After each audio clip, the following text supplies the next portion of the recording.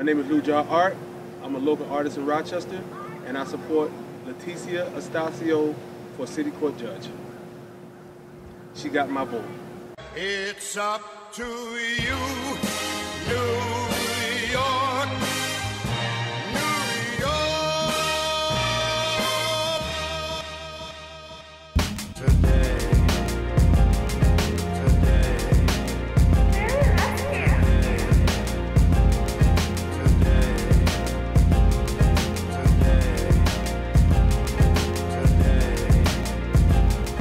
Hi, my name is Leticia Astacio, and I would really appreciate your support in my candidacy to become Rochester's next City Court Judge.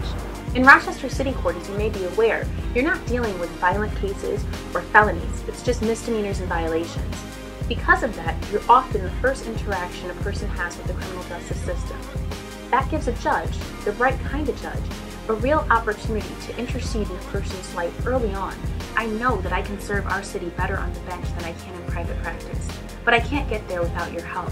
The Democratic Party primary will be Tuesday, September 9th. The polls are open from noon to 9.